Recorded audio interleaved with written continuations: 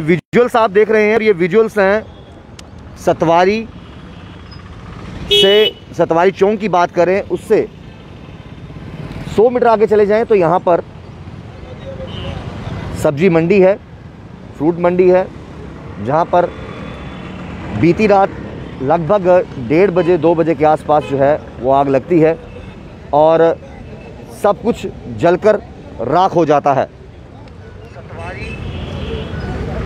Visuals आप देख रहे हैं कि अभी भी आग लगी हुई है और रात के डेढ़ दो बजे के आसपास जो है, ये आग लगती है। और एक बार बताना चाहूँगा कि कितना नुकसान जो है, वो यहाँ पर हुआ है। तस्वीरें आपके सामने हैं। इसके अलावा तीन दुकानें और हैं जहाँ पर आग ने जो है, अपना कहर भर पाया। और सुखद बात यह है कि देर रात का समय था जानी नुकसान नहीं हुआ, यहाँ पर नहीं थे लोग, लेकिन आप नीचे देख सकते हैं, पूरा फ्रूट हालाँकि रमज़ान का महीना चल रहा है, नवरात्रे चल रहे हैं तो आप खुद देखिए तस्वीरों में कितना नुकसान इनका जो है, वो हुआ है, और सब कुछ सब कुछ जलकर राख हो गया।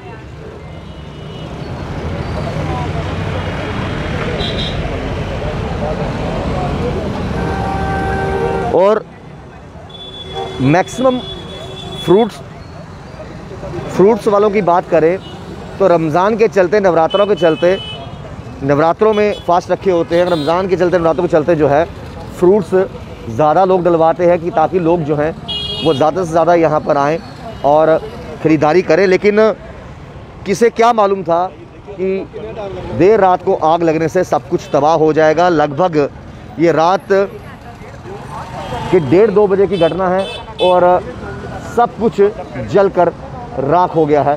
काफ़ी नुकसान जो है वो यहाँ पर हुआ है। और अभी भी आप देखिए तस्वीरों में कि किस तरीके से रात को आग लगती है। तीन दुकानें इसकी चपेट में आती हैं। जितनी भी रेडियाँ यहाँ पर सामान पड़ा हुआ था सब कुछ जलकर राख हो जाता है। सर लगभग डेढ़ बजे के आसपास आग यहाँ लगती है। कितना नुकसान यहाँ पर लोगों का हुआ है? क्योंकि रमज़ान चल रहे हैं नवरात्रे चल रहे हैं। मैक्सिमम जो जितने भी यहाँ पर रेडी वाले हैं ज़्यादा से ज़्यादा फ्रूट डलवाते हैं कि लोग लेते हैं। कितना नुकसान हुआ है?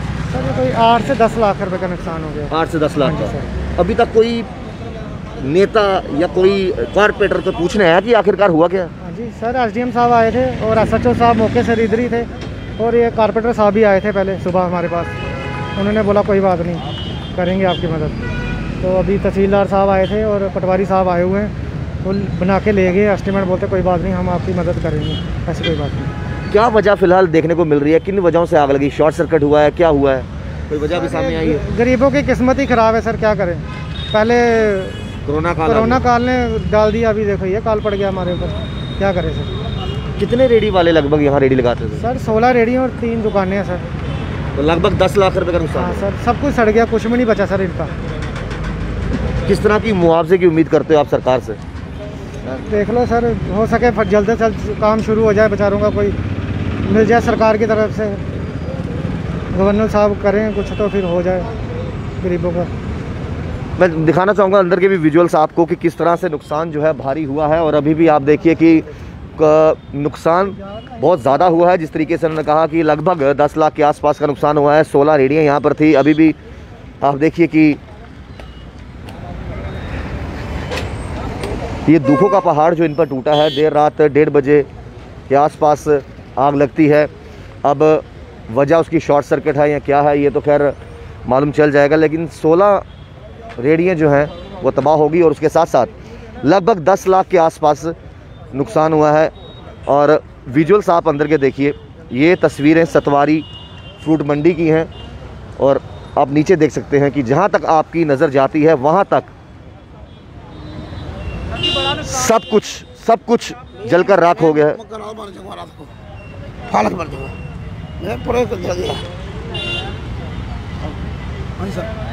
सर कितने बजे के आसपास आग लगी है? ये सर कोई डेढ़ बजे के करीब लगी डेढ़ बजे की हाँ। लगी है। कितना नुकसान हो गया? यहाँ पे कोई कम से कम भी दस पंद्रह लाख रुपए दस पंद्रह लाख का नुकसान हो गया। एक नवरात्रा चल रहे हैं ऊपर से रमज़ान चल रहे हैं तो लोग ज़्यादा से ज़्यादा फ्रूट डालते हैं कि चलो ठीक है डबल माल डाला डबल माल डाला होता है। है। मंडी का उधार करके यहाँ पे डाला होता है हमने माल। सारा जितना भी नुकसान हो गया हमारा पचास हज़ार का तो मेरा खाली हो गया। अभी तक कोई नेता कॉर्पोरेटर पूछने आया आपसे कि क्या तहसीलदार आए थे अभी पटवारी आए थे उन्होंने बोला कि आपको मुआवजा दिया जाएगा। मुआवजा दिया जाएगा। हाँ जी।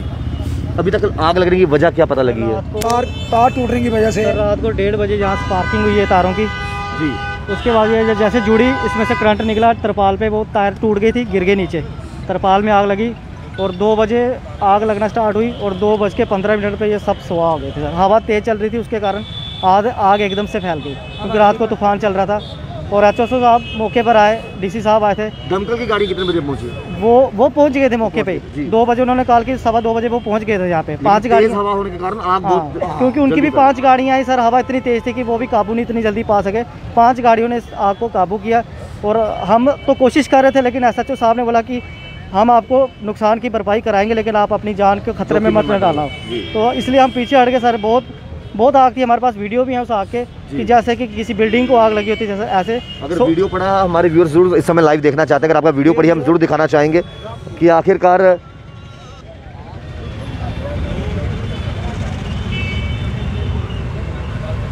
ये कुछ विजुअल्स हैं हम चाहेंगे दिखाने को कि आखिरकार रात का मंजर क्या था। तो अ, मैं चाहूँगा ये विजुअल्स आप हमारे चैनल के माध्यम से देखें सर ये सब काबू पा चुके थे फिर इससे भी ज़्यादा भयानक तो काफ़ी भयानक आग थी, आप अभी भी देख सकते हैं। और जो यहाँ के कंसर्निंग एसएचओ थे, उन्होंने इनको कहा कि आप दूर रहिए। माल का नुकसान तो हो गया, जानी नुकसान हमें नहीं चाहिए तो आप बेफिक्र रहिए, आपको मुआवजा मिल जाएगा। तो ये रात की विजुअल्स हैं जो लगभग जिस तरीके से उन्होंने बताया, डेढ़ बजे के आसपास जो है, वो आग लगती है। और ये विजुअल्स आप साफ़ तौर पर देखिए।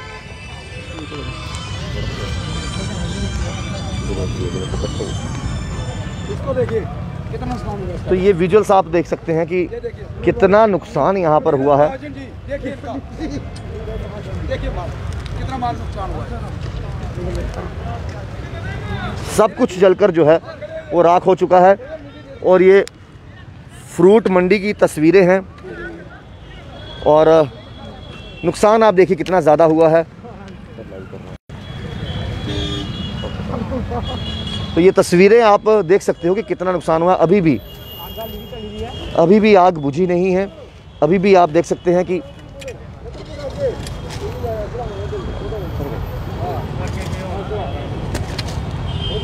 दस से पंद्रह लाख का नुकसान जो है, वो यहाँ हुआ है। जितने फ्रूट, सब्ज़ियाँ सब जलकर राख होगी। जो इनकी रेडियाँ थी, वो भी जल चुकी हैं। पहले कोरोना काल में जो मार, उसके बाद काल की मार और कहीं ना कहीं इतना नुकसान इनका हुआ। फिर आपसे बात करेंगे, कितना नुकसान हुआ? सर, मेरा कल मंडी से उधार माल आया था, एक लाख बीस हज़ार रुपये का। रमज़ान के महीना चल रहा है नवरात्रि चल रहे हैं। उसकी वजह से मैं उधार माल लाया था मंडी से। वो बोला, बेच के पैसे दे देंगे। सारा माल जल के राख हो गया। कहाँ से देंगे पैसे हम? आप ही समझदार माल। छोटे छोटे बच्चे कैसे पालेंगे हम? किस तरह के मुआवजे की उम्मीद करते हो सरकार से? सरकार से जो भी दे दे अच्छा है। आपके सामने देखो कितना वेस्ट हो गया आपके सामने माल। देखो आप फ़ोटो खींचो। बताओ आप देखो कितना वेस्ट हो गया माल। तो ये आप साफ़ तौर पर देख सकते हैं कि कितना नुकसान हुआ है। और तमाम लोग जानते हैं कोरोना काल के चलते पिछले साल भी जो है कितना नुकसान इनका हुआ। और अभी भी आप देखिए कुछ भी कुछ भी नहीं बचा कुछ भी नहीं बचा। और जैसे इन्होंने कहा कि कल मंडी जाकर उधार सामान लाया था कि आज कुछ चार पैसे कमाएँगे और इनको पैसे दे देंगे।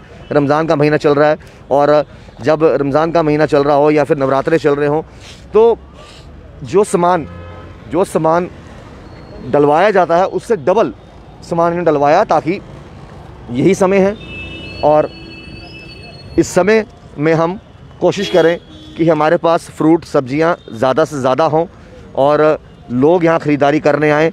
तो ये बहुत बड़ा नुकसान है। हम भी अपने चैनल के माध्यम से यही कहना चाहेंगे कि सरकार को इनके साथ इस समय दुख की घड़ी में खड़ा होना चाहिए और जो मुआवजे की उम्मीद ये कर रहे हैं, इनको मुआवजा जो है वो मिलना चाहिए। तो ये फ़िलहाल ये तस्वीरें आप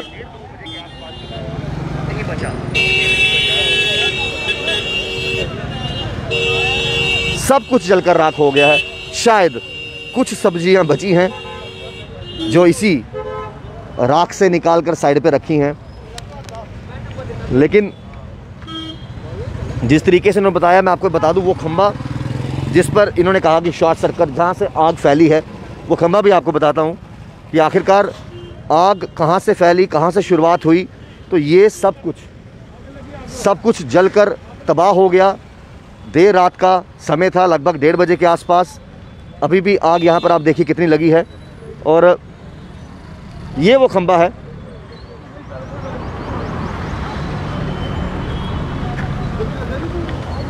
ये आप तस्वीरों में देखिए, ये वो खंबा है, ये वो पोल है जिसके बारे में यहाँ के लोगों ने बताया कि यहाँ से आग पकड़ी गई है, यहाँ से शॉर्ट सर्किट होता है और तरपाल होते हैं, नीचे तरपाल में आग लगती है। हवा तेज़ होने के कारण जो है आग अपना तांडव करना शुरू कर देती है और उसके बाद जो है आग को काबू पाना मुश्किल हो जाता है। आग लगभग डेढ़ बजे के आसपास रात को लगती है। दमकल की गाड़ी यहाँ पर पहुँचती हैं और कितना ज़्यादा नुकसान इनका हुआ है। तीन दुकानें इनकी चपेट में आई हैं। दस से पंद्रह लाख का नुकसान जो है, वो हुआ है। तीन दुकानें, सोलह रेडियाँ और एक उम्मीद की निगाह लगाकर बैठे हैं कि कब इनको कुछ मुआवजा मिलेगा ताकि गुज़र बसर जो है वो अपना कर सकें।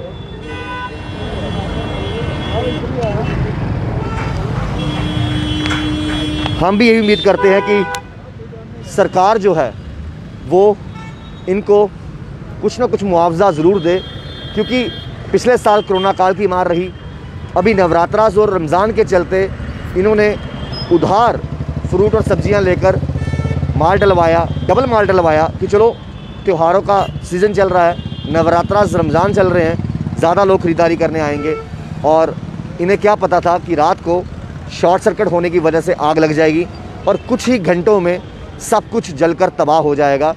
तो मैं यही अपील करता हूँ अपने चैनल के माध्यम से कि इन सबको इनका मुआवजा दिया जाए, क्योंकि आगे एक तरफ़ कोरोना की मार के कारण सबकी कमर टूटी है और दूसरी तरफ़ जब इस तरह के हादसे पेश आते हैं तो इंसान दोबारा से अपने पैरों पर उठना उनके लिए बड़ा मुश्किल हो जाता है।